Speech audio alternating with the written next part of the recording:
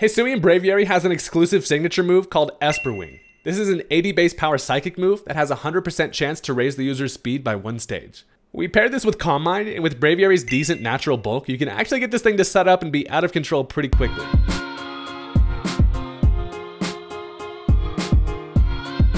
Ladies and gentlemen, what is happening? Welcome back to another Scarlet and Violet Wi-Fi battle. Today, I've got a really fun one for you. This team is super interesting. It just results in some fun shenanigans. So if you're into that kind of thing, consider hitting that subscribe button. I'm on my way to 300k. It'll only take you a second and it really helps out. Let's go ahead and jump into the match. All right, so I'm gonna go ahead and lead off with the absolute beast. That is Pikachu, as my opponent tosses out Fiery Donut Boy, and Volcanion is uh, actually a pretty solid matchup for me here. I could potentially you know, go for a Volt Switch here, get some super effective damage. However, I expect them to probably switch into something like the Garchomp, so instead, I'm actually just going to go for the Trailblaze here. So the reason for this is because if I can catch a nice little plus one in speed, I can then outspeed their entire team and then try to do anything I can with Pikachu. To be honest, Pikachu is basically here to try to make a scratch in their team. Uh, this matchup isn't great for the little Pika, but they do end up switching into the Garchomp here on the Trailblaze. That gives me a plus one.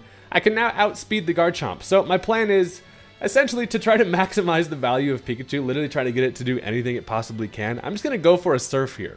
Now I know that's actually not going to end up killing this thing, but if I can catch them trying to go for a setup like a Swords Dance here, I can then two-hit KO with the Surf. So I do go ahead and Surf on these hoes, and it does kind of minuscule damage as they actually just end up going, you know, for the Scale Shot, and poor little Pikachu just dies to two of those. So you know, was not quite able to get the Pikachu to pop off, but it's fine. Like I said, this matchup was not great for the Pika regardless, so uh, I'm fine with that. So I also didn't really expect the Garchomp to go for the Scale Shot. That does give him a nice little plus one, and we got ourselves a, a speedy Land Shark here. Luckily though, I do have an answer in the form of Mudsdale. I come out here, big ass horse, and I am pretty fit to handle an attack from the Garchomp. I know that it can do some pretty solid damage to me, but I've gotten some chip on it with the Pikachu, and I decided to just go for an Earthquake here, hoping that I can knock it out. So, let's go ahead and Quake each other, absolutely ruin the, the schoolyard here. This place is in shambles at this point. I get some stamina, and then I Earthquake it once more. That is going to end up taking care of the Garchomp. So, that is a pretty big threat out of the way. It did do about half to Mudsdale, but honestly, taking care of Garchomp is pretty valuable. That's just a bad Pokemon for my team. And now we're sitting at plus one defense and above half. So we're feeling pretty good. I would like to get some Stealth Rock up in this match, however.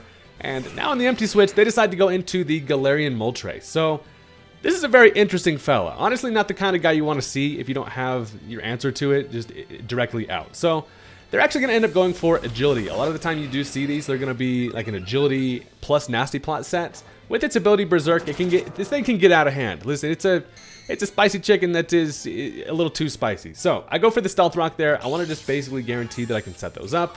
As now Mudsdale is in a very interesting spot. It does have the agility, however, I don't think it has uh, the the power to knock me out at this health. So I decided to just go for the body press as, again, yeah, they're going to just go for the nasty plot. Exactly pretty much what you can expect these things to do.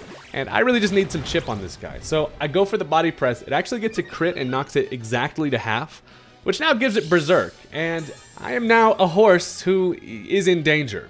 Honestly, I was kind of hoed by that critical hit. It got it right into range for its ability to activate, and now I have nothing else to do essentially than just stay in here, try to get some more damage if possible, but uh, with that, uh, all the boosts it's got, it's definitely going to be able to take care of me. So it has the agility boost, it doubles its speed, it has a berserk special attack boost plus the nasty plot, and that is a threat. However, I have the absolute GOAT bear of all time. Listen, Pokemon's coming out with new bears all the time, but you know who's the OG? Our boy Snorlax, who has not been getting enough love lately, but I should be able to take a special attack from this thing, at least one of them, and then fire off a nice little body slam. So of course, the Fiery Wrath is going to do a nice little chunk of damage, but that just makes Snorlax hungry. We have a nice little mid-turn snack. Get that Sitrus Berry, brings us back up to half, and then we fire off a Body Slam here. So that is going to take care of the Moltres, and that is honestly kind of crisis averted, because that thing could have easily gone for a crazy sweep.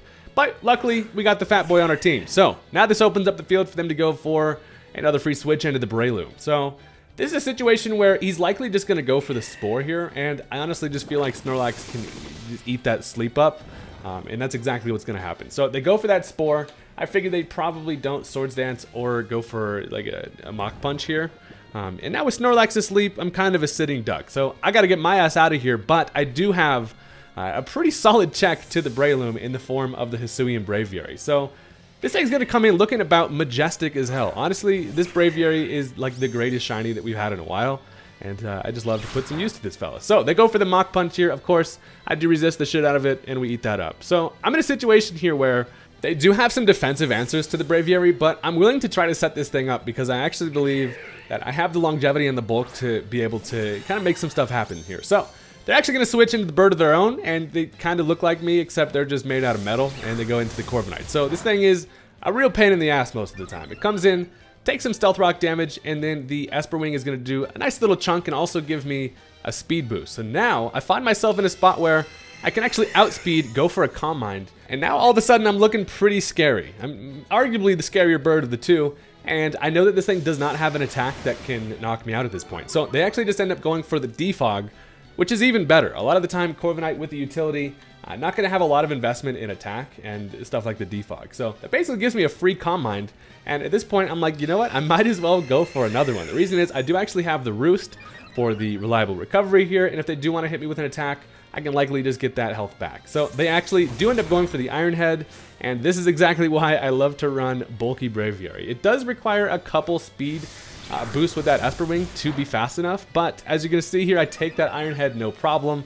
And an Esper Wing, especially after that, com uh, two Calm Minds is going to take care of the Corviknight. So now I've got two Calm Minds and two Speed Boosts with the Esper Wing.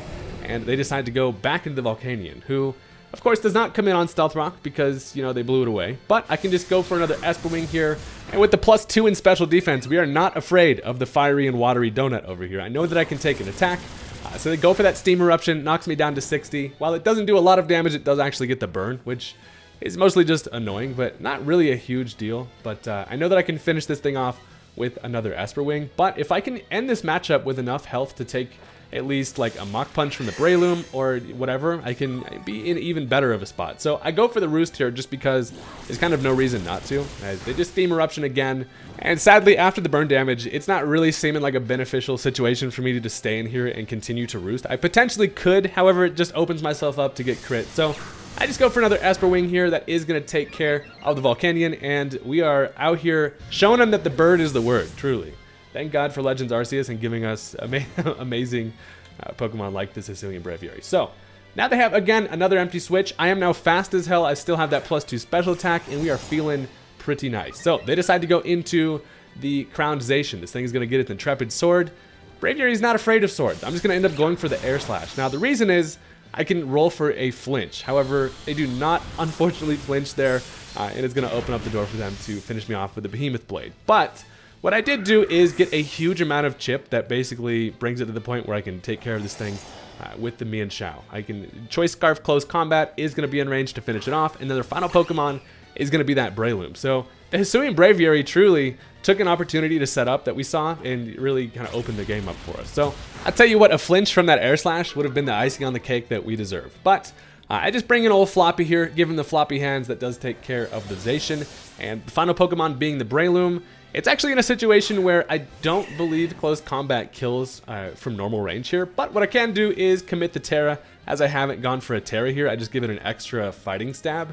It's going to give me two times stab and should be enough to take care uh, of the of the mushroom over here. So we stick the fist on our head, and sometimes you got to just maximize the amount of damage, and especially with Choice Scarf Mienshao, uh, being able to like outspeed everything at its like base 105 speed is honestly pretty crazy, especially with that extra fighting stab.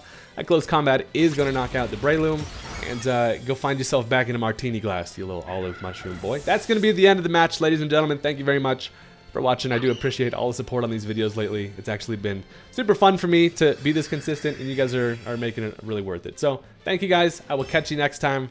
Peace out.